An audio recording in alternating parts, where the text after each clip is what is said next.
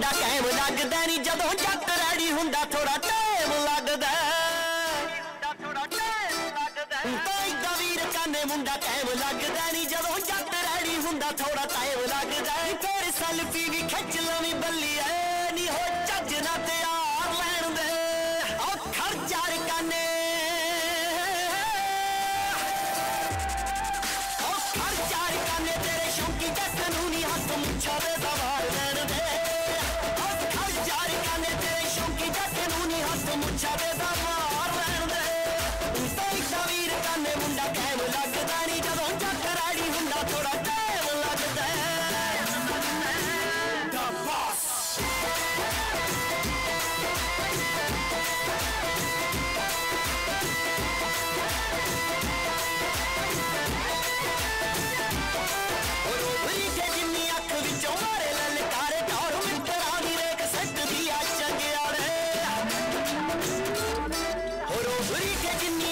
ਵਿੱਚੋਂ ਮਾਰੇ ਲਲਕਾਰੇ ਢੌਰ ਮਿੱਤਰਾਂ ਦੀ ਰੇਖ ਸੱਜਦੀ ਆ ਚੰਗਿਆੜੇ ਮੇਰਾ ਪੇਚਾਂ ਵਾਲੀ ਬਾਜ ਦੀ ਕਲੋੜ ਨਾ ਨੀ ਲੜ ਮੂਰਲਾ ਸਵਾਰ ਲੈਣ ਦੇ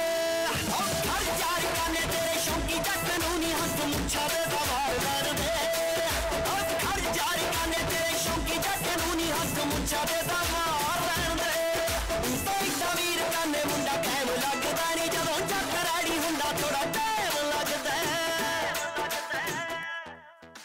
KKHD ਇਹ ਅਖਬਾਰ 'ਚ ਵੀ KKHD ਦੀ ਐਡ ਹੈ ਮੈਗਜ਼ੀਨ ਵਿੱਚ ਵੀ ਹਰ ਪੇਜ ਤੇ KKHD KKHD ਫੇਸਬੁੱਕ ਦੇਖਿਆ KKHD YouTube ਦੇਖਿਆ ਉਹ 'ਚ ਵੀ KKHD ਮੈਂ ਵੀ ਕੱਲ ਇੰਸਟਾਗ੍ਰam ਤੇ ਦੇਖਿਆ ਸੀ ਉਹਦੇ ਉੱਤੇ ਵੀ KKHD ਦੀ ਐਡ ਆ ਰਹੀ ਸੀਗੀ ਇਹ KKHD ਕੀ ਹੈਗਾ ਤੁਹਾਨੂੰ ਪਤਾ ਹੀ ਨਹੀਂ ਐਚ ਦਾ ਮਤਲਬ ਕਿਸਮੇ ਕਿਤਨਾ ਹੈ ਦਮ ਕਿਸਮੇ ਕਿਤਨਾ ਹੈ ਦਮ ਦੁਨੀਆ ਦੇ ਸਾਹਮਣੇ ਆਪਣਾ ਟੈਲੈਂਟ ਦਿਖਾਉਣ ਲਈ ਇਹ ਸਭ ਤੋਂ ਵਧੀਆ ਟੈਲੈਂਟ ਸ਼ੋਅ ਹੈ ਤੇ ਸਭ ਤੋਂ ਇੰਟਰਸਟਿੰਗ ਗੱਲ ਐਚਡੀ ਵਾਲੇ ਸਾਨੂੰ ਟ੍ਰੇਨਿੰਗ ਵੀ ਦਿੰਦੇ ਨੇ ਤੇ ਬੱਚਿਆਂ ਨੂੰ ਇੱਕ ਪਲੇਟਫਾਰਮ ਵੀ ਦਿੰਦੇ ਨੇ। ਇਹਨਾਂ ਦਾ ਨੰਬਰ ਕੀ ਹੈ? 9041 733 733